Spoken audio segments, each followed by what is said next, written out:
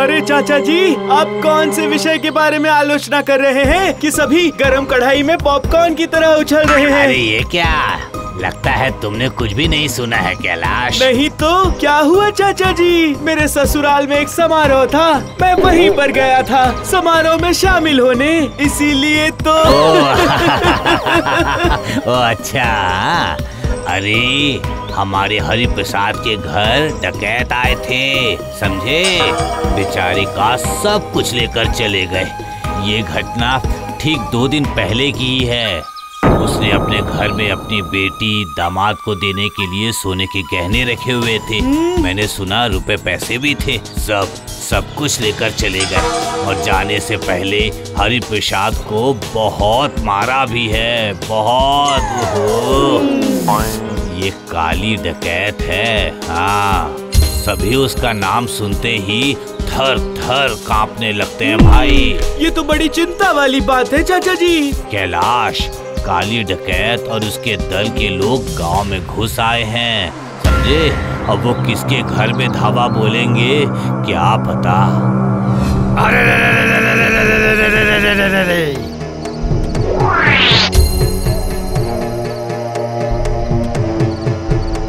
अरे तुम लोग जल्दी से जाकर घर के अंदर से सामान लेकर आओ। मिट्टी की खुदाई पर जो मिट्टी का घड़ा मिला है उसे भी लेकर आओ। जल्दी जाओ जल्दी लेकर आओ। जी सरदार। इसी वक्त सब लेकर आता हूँ। और सुनो खटाल के घर से दुधारू गाय और बकरी लेना बिल्कुल भी मत भूलना। समझ गए? नहीं सरदार। तुम ये सही नहीं कर रहे हो काली। पूजा करवा कर बहुत कष्ट उठाकर मैंने पैसे जमा किए हैं उन्हें। उन्हें उन्हें इस तरह से लेकर मत जाओ। तुम तो माँ के भक्त हो ना? उनकी पूजा करते हो ना माँ बिल्कुल भी ये अन्याय बर्दाश्त नहीं करेंगी। उनका अभिशाप लगेगा तुम्हें उनका अभिशाप लगेगा याद रखना। हे, हे पंडित चुप बिल्कुल चुप। अगर ज़्यादा बोला तो सीधा उठाकर माँ के चरणों में तेरी बलि चढ़ा दूँगा। इतने दिनों तक बकरे की बलि देने के बाद अब पंडित की बलि देकर मुझे बहुत अच्छा लगेगा। जय माँ। जय माँ काली जय माँ तो तुम लोगों ने सब सुना ना हाँ? हाँ चाचा जी ये तो गंभीर बात है। वो काली डकैत बहुत ही घातक है। चाचा जी उस काली डकैत का डेरा पता है क्या? आप कुछ जानते हैं? हाँ वो तो बिल्कुल सटीक बता नहीं पाऊँगा। लेकिन सुना हूँ बाएँ तरफ़ जो घना जंगल है ना उसके पास जो पुराना शमशान है उसके पास एक बहुत ही पुरानी प्राचीन काली का मंदिर है। वहीं पर काली डकैत का डेरा है। तुम जाओगे क्या? आप भी ना चाचा जी? मैं तो पुलिस के बारे में सोच रहा था। छोड़ो पुलिस को। वो लोग क्या करेंगे? हाँ? पकड़ लेने पर वो लोग अरेस्ट कर सकते हैं ना?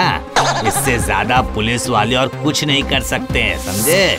काली डकैत अगर अपने बाप दादा के पेशे को आगे बढ़ाता तो फिर वो नाम भी कमाता और हमें जरा शांति भी मिलती। वो क्या है चाचा जी? काली डकैत को बहुत स्वादिष्ट खाना बनाना आता है। उसके बाप दादा भारत के प्रसिद्ध रसोईया थे समझे? काली उस रास्ते पर नहीं गया लेकिन प्रत्येक शनिवार मंगलवार को वो माँ की पूजा करता है। और अपने हाथों से माँ का सारा प्रसाद पकाता है समझे? मैंने सुना है उसके हाथों का बना खाना जो भी खाता है वो उंगली चाट चाट कर खाता है। क्या सच में चाचा जी? सच में उसके दादा नवाब वाजिद अली खान के प्रमुख रसोईया थे हाँ। उनके हाथों के बने खाने के अलावा नवाब किसी और का बना खाना चखते भी नहीं थे हाँ। सब सुनी हुई बातें हैं। पता नहीं सच है या झूठ लेकिन काली इसी मामले में अपने बाप दादा से एक कदम आगे है। हाँ अगर ऐसी बात है तो मज़ा आ जाएगा। सब तो अच्छी बात है कैलाश लेकिन काली डकैत खाना बनाकर हमें खिलाने तो नहीं आएगा ना? आएगा डकैती करने। इसके हाथों कैसे बचा जाए बस यही सोच रहा हूँ मैं। अच्छा कैलाश तुम तो बहुत होशियार हो हाँ? देखो ना शायद तुम कुछ कर पाओ कुछ तो कर सकते हो। क्या कह रहे चाचा जी? कहाँ काली डकैत और कहाँ मैं? मैं कैसे उन लोगों का सामना करूँगा? सही कहा सही कहा। ऊपर वाले का ही सहारा है। जय माँ काली।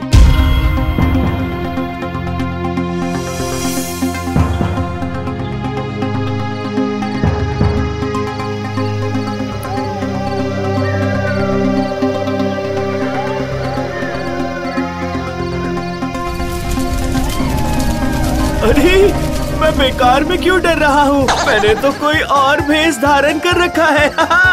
काली डकैत, क्या उसके बाप दादा भी मुझे पहचान नहीं पाएँगे? सर पर जटा, लंबी दाढ़ी और मूछ, लाल कपड़े, ललाट पर तिलक, रुद्राक्ष की माला। वाह, मैंने बहुत ही शानदार भेष धारण किया है। बाबा, खाने की खुशबू, मेरा मन खुश कर रही है। नहीं नहीं नहीं नहीं नहीं नहीं नहीं। अब और देरी नहीं करनी चाहिए। काली के डेरे में अब घुसना ही पड़ेगा। जय माँ काली। जय माँ जय माँ जय माँ काली।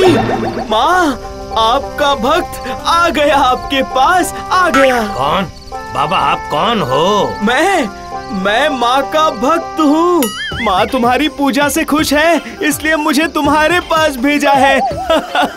तुम लोगों की पूजा से माँ बहुत ज़्यादा खुश है, सच कह रहा हूँ। वाह आइए बाबा, आइए, आसन पर बैठिए।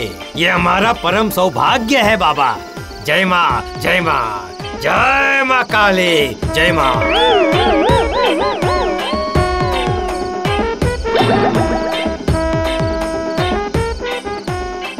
सुनो, तुम लोग पहले मेरे खाने की व्यवस्था करो। बहुत भूख लगी है। बहुत दूर से चल कर आ रहा हूँ। कैलाश से आया हूँ। चलो चलो चलो। तुम लोग जल्दी खाना तैयार करो। सुनो, तुम लोग जल्द से जल्द बाबा के खाने की व्यवस्था करो। जाओ, जल्दी जाओ, जल्दी करो, जल्दी।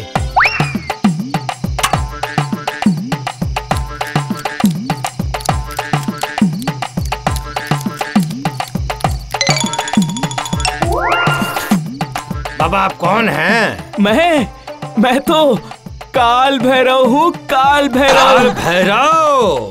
सुनो ये प्रसाद माँ ने ही ग्रहण किया है। इससे तुम लोगों को पुण्य मिलेगा।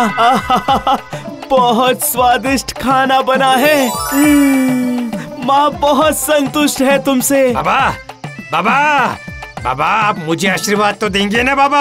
हाँ बेटा हाँ ज़रूर आशीर्वाद दूँगा लेकिन उसके लिए मुझे कुछ सामान चाहिए बेटा। इन सबसे क्या करेंगे बाबा? सुनो बड़ी बड़ी बोरियाँ लंबी मज़बूत रस्सी और मुख्तर जिससे तुम लोग व्यायाम करते हो वो वो वो जो कोने में रखा हुआ है हाँ हाँ ये ये सारा सामान ले आओ जल्दी करो। इन सबसे क्या करेंगे बाबा? बेटा इन सभी चीज़ों से ही तुम लोगों को आशीर्वाद दूँगा। इसे क्या कहते हैं पता है? इसे कहते हैं हरिंग भ्रंग बंधन आशीर्वाद। शक्तिशाली इंसानों के लिए शक्ति आशीर्वाद। इससे तुम लोगों की शक्ति पाँच गुना बढ़ जाएगी। सच में बाबा? ए, सुनो सुनो। तुम लोग जल्दी से सारा सामान बाबा को ला कर दो।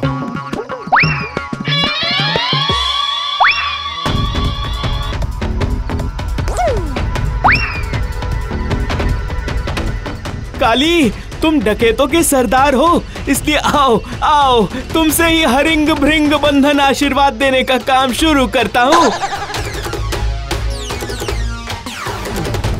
चलो आ जाओ और आकर इस बोरी के अंदर घुस जाओ।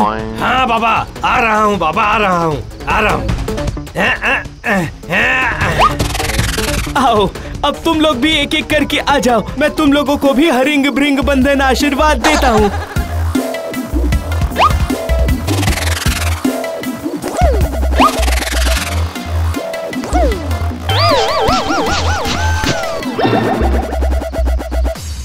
ओम फुस।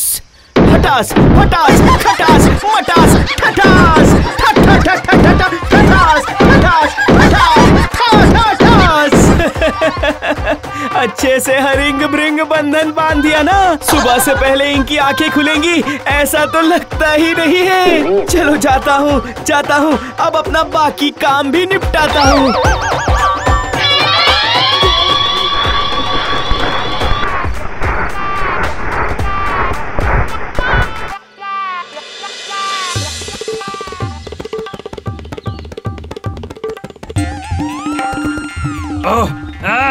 बाप रे अरे बापरे बापरे, बाबा शरीर में आसानी दर्द हो रहा है, दर्द हो रहा है। यहाँ इतने सारे आदमी कहाँ से आ गए? कहाँ से आ गए? ओ अरे अरे, ये देखो, यही तो दल का सरदार है, काली डकैत और वो सभी वो सभी इसके साथी हैं। सुनो सुनो सुनो। सभी इन लोगों को घेर कर रखो। सभी घेर कर रखो। पुलिस जब तक नहीं आ जाती तब तक घेर कर रखो। हाँ। लेकिन इन सब की हालत ऐसी किसने कर दी? कौन हो सकता है? कौन? कौन था? कौन था वो? काल भैरव।